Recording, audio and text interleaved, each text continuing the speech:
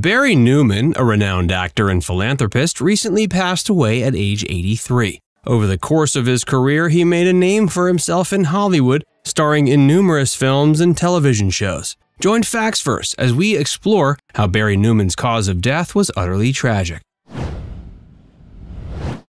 Early life Barry was an American actor and screenwriter whose career spanned more than five decades. He was born November 7, 1938, in Boston and grew up in the neighborhoods of Dorchester and Roxbury. His father, Carl Newman, was a textile manufacturer and his mother, Adele, was a homemaker. Newman grew up in a Jewish family with three siblings and attended Brandeis University. Barry became interested in acting while studying there and joined the university's theater group. Furthering his acting dreams, he attended Boston University's School of Fine Arts and honed his craft at various theaters across the country, including the Williamstown Theater Festival.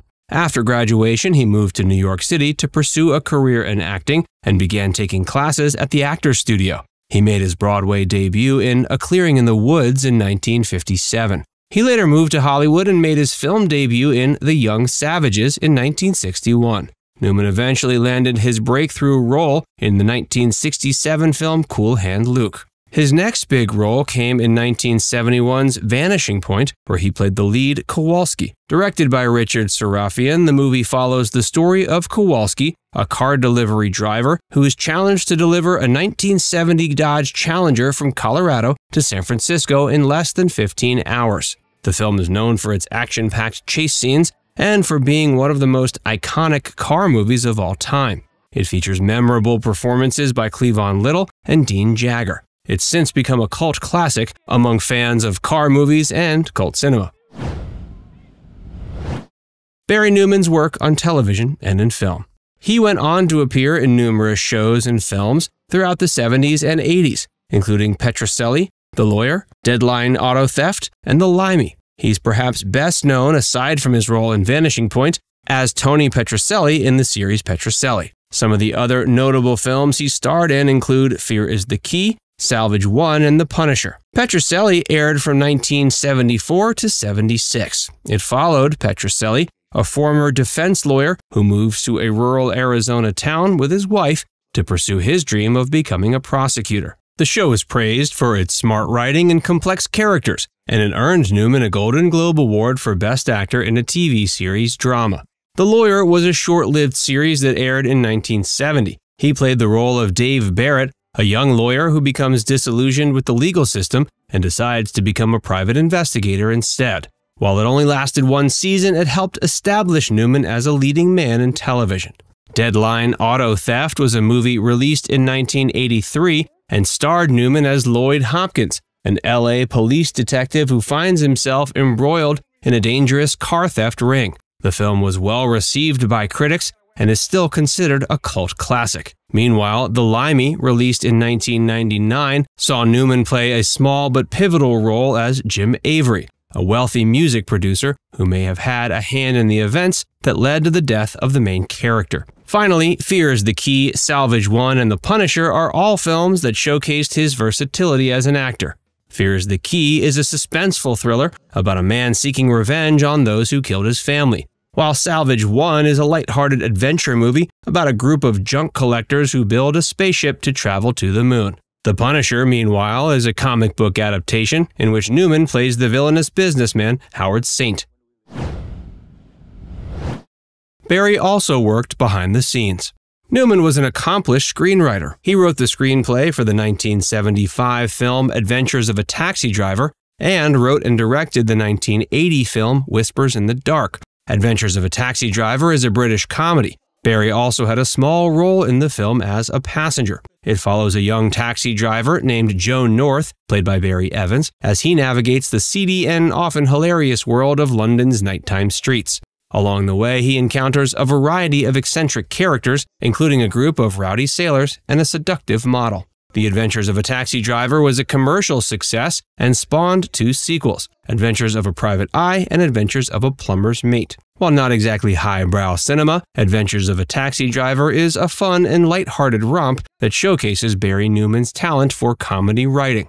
Meanwhile, Whispers in the Dark is a 1992 thriller. It stars Annabella Sciorra, as a psychiatrist who becomes romantically involved with a patient played by Jamie Sheridan, who may be a serial killer. Newman has a small role in the film as a police detective. The movie explores themes of psychoanalysis, sexuality, and obsession and received mixed reviews. However, it has since gained a cult following among fans of the thriller genre. As both writer and director, Newman was able to bring his unique perspective to the film, and his experience as an actor likely helped him bring out strong performances from the cast. It's a fun comedy, while Whispers in the Dark is a tense and atmospheric thriller that's well worth checking out for fans of the genre. Despite his success in Hollywood, Newman remained humble and dedicated to his craft, always striving to improve as both an actor and a screenwriter. Barry was a philanthropist and a husband and father. Newman was known for his dedication to social causes and involved in various charitable organizations. He was a supporter of environmental causes and donated to numerous organizations, including the Sierra Club and Greenpeace. He was also a champion of education and healthcare initiatives and lent his support to various organizations focused on these issues. On a personal level, Newman was married to his wife, Diana, for over 50 years. They had two daughters, Nancy and Sarah. He was also an avid collector of cars and loved driving fast. He owned several classic sports cars, including a 1971 Hemi Cuda. He passed away June 4, 2023, at age 92. His contributions to both the entertainment industry and wider society will be remembered for years to come. He was a true icon and a legend in his own right, and his memory will live on through his work and the countless lives he touched. Following Barry's passing, there was an immense outpouring of grief and tributes from fans, former co stars, and colleagues in the entertainment industry. Many paid tribute to Newman's talent as an actor and his contributions to the film and television industry. Fans took to social media to express sadness and share memories of him, while several actors and industry professionals shared heartfelt messages on various platforms, expressing their admiration for his work and the impact he had on them personally and professionally. The overwhelming response to his passing is a testament to the love and respect people had for him as an actor and a person. One great way to memorialize the actor is to look at humorous anecdotes from his career.